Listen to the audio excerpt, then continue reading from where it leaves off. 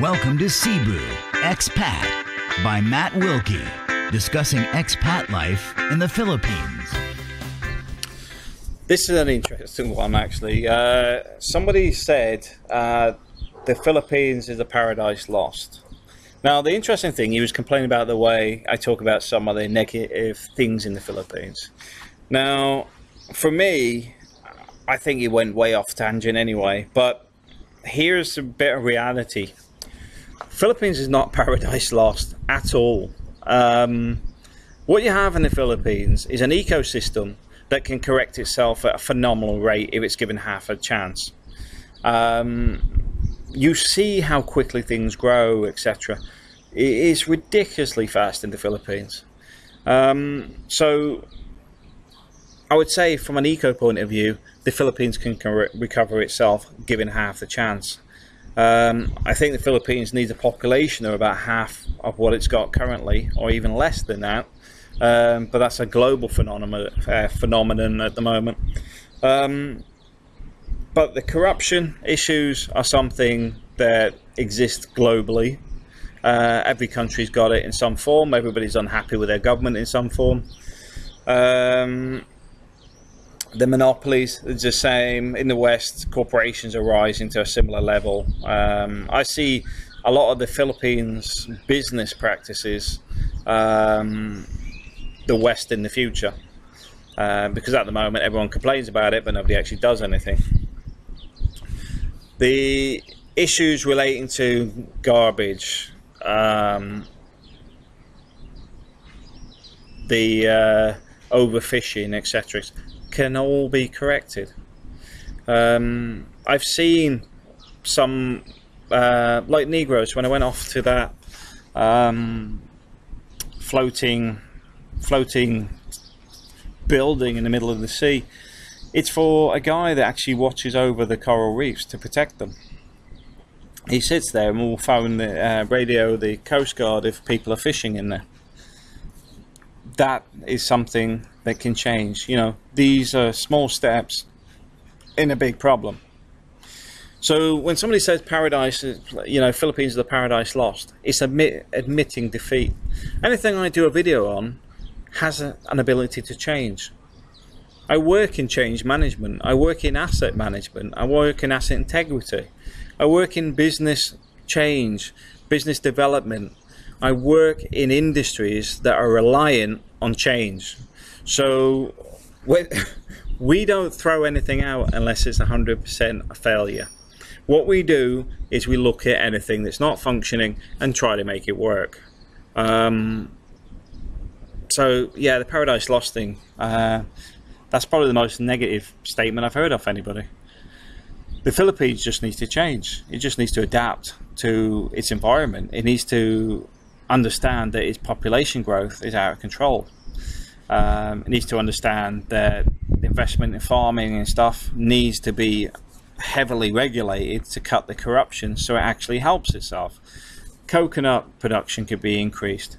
Um, but I think there's also the problem that it's got very similar to the UK in many ways that it likes everything to come through the ports. Why does it come through the ports? Because if it comes through the ports, it's taxed if people are backyard farming, if people are producing uh, crops in the provinces, etc., the central government can't really control it as much as it would like. So the easiest way of doing that is to reduce production in, internally, so externally you can control everything coming through the ports. So central government cream off the top without actually any risk to themselves. Um, it just inflates the cost of everything because a lot of this stuff should actually be produced internally uh, within the Philippines, which is why I say it's all about change. Uh, any video that I do, there is negatives and positives. Why don't I concentrate more on how sunny Boracay is? Um, is because there's tons of videos already out there. Um, what am I going to tell people? Exactly the same as everybody else? I can't see the point. Um, but for me, it's all about positive change. It's like education. Um, I think there should be more education and understanding. Uh, I think there should be more moral guidance, and things that actually create a positive impact throughout an entire community. Because if we can make those changes, everything else follows. Because littering, um, I find completely bizarre because the state of the rivers, yeah, everybody will point to the government and blame the government, yeah, it's a million people in that area that have thrown everything in the river. It wasn't the government that put it there, it was those people. Educating those people to say, you did that, stop doing it, we want to fix this, it shouldn't be like this. You're causing typhoid, you're causing malaria, you're causing dengue, you're causing infections galore, infestations of rats, etc., etc., by excessive littering. Um, that that's the reality of it. But nobody likes to tell the truth to people, and I'm afraid going on the path it is doesn't matter what country it is. It's it just doesn't work. Just ignoring everything doesn't work. We do it a lot in the West these days. Um,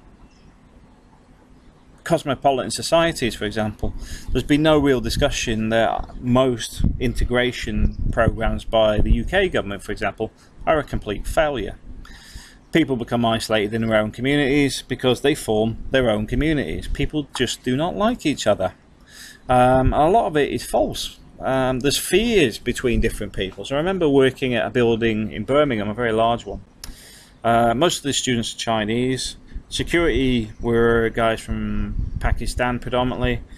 Uh, the engineers were uh, white British. The cleaners were Jamaican descendant British. Um, there was at least six different groups because there was Polish, etc., etc. But the only person that integrated with everybody was myself because I will go and talk to anybody. Um, because communicating with everybody drops the barriers. And it was quite funny with one of the engineers because we were talking when one of the security guys come over and asked me did I want anything for lunch because he's he's going to drive up and grab the the lunch for all the other guys in security. Um, and he was shocked because obviously I was there on the engineering side, and he's like, "I've been here four years. Nobody's nobody's ever asked me if I wanted in for lunch." I said, "Well, do you actually talk to them?" You know, that's the only way to create change in places. So the whole point is, when I say something, is because there's a positive outcome, but it only comes from creating a change. Um, as I keep stating, it's about thinking. Any of my videos are about thought. It's about putting a bit of thought into it um, and seeing is there a problem? Is there a solution? Is there a risk? Because for anybody going to the Philippines for the first time, they've got a higher risk than uh, most other people because it is in a new country with new people, new environment, etc. Doesn't mean that they're going to get robbed as soon as they get off the train or off plane, but it does mean they should be more aware that they stand out because they're a foreigner, and that's it. Um, everything else the examples I give are actually real examples of what's happened to other people. Um, and as been discussed, some of the expat community are an absolute nightmare themselves. So that's why you know a lot of things do happen to a lot of people simply because of the type of people they are, their age group, their health, etc., etc but that is the expat community, like it or lump it, because um, obviously it'll be a bit more different to the expat community in Dubai, for example, or in Singapore, um, because there's a bigger business sector. So it's just things to be aware of. But anyway, thanks for watching.